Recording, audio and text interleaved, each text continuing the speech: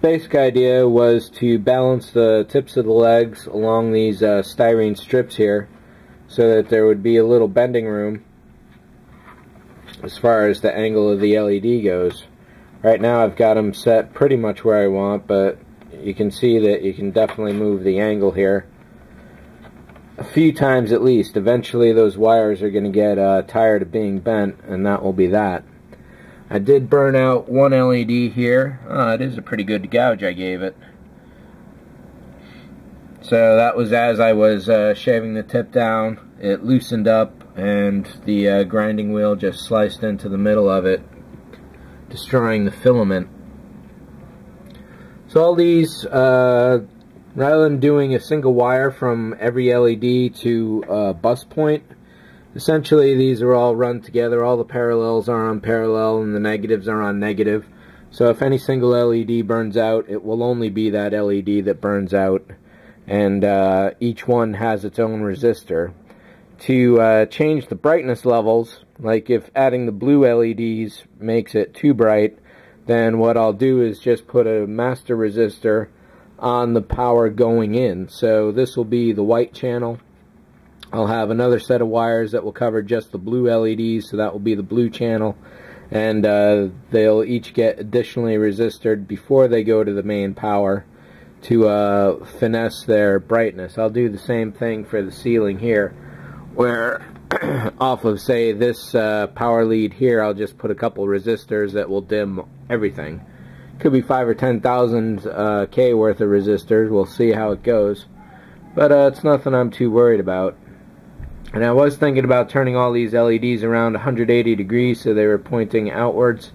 But looking at it now, that's definitely going to be a difficult thing to do. Because even this LED here shows that, you know, just simply turning things around isn't going to work out because of the way I wired it all. So that's not too much of a problem. I'll bend down the ones that are uh, sticking above the uh, ceiling line and shave off any others that don't quite make it. So there's definitely a couple right there.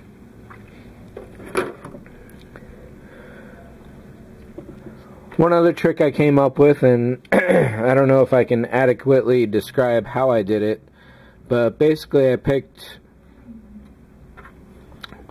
one wire here. This became the end of a foot long wire.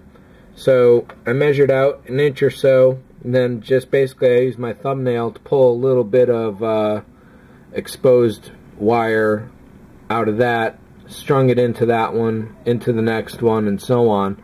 So these wires here, especially this black one, this is one continuous piece of wire that I just simply stripped a little bit mid-length, looped around the uh, leg of the LED, measured it out, ripped off a little bit more uh, insulation, wrapped it around, and uh, soldered it up to the end. I think uh, this entire piece here is one wire.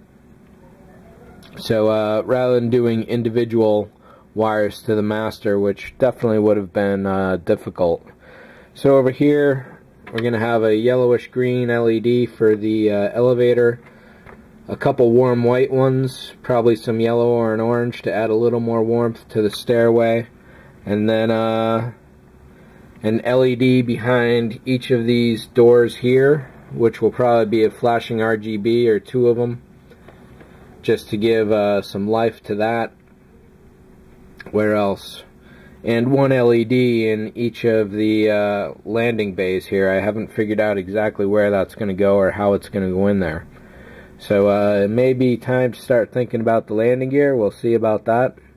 And uh, we'll go from there.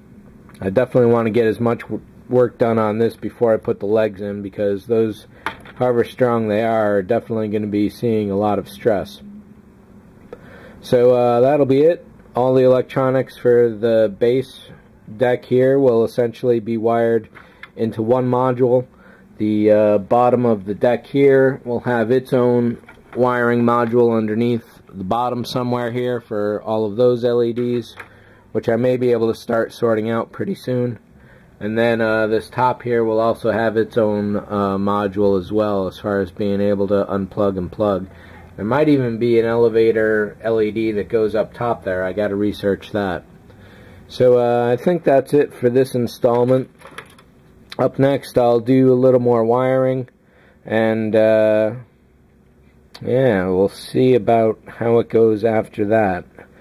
I'm just getting the kit back together, putting all the parts out, seeing where everything needs to go, and I'm definitely thinking that uh, painting is up soon. I just got to figure out exactly when I can and want to do it. So that's it for this one. Thanks for watching as always. See ya.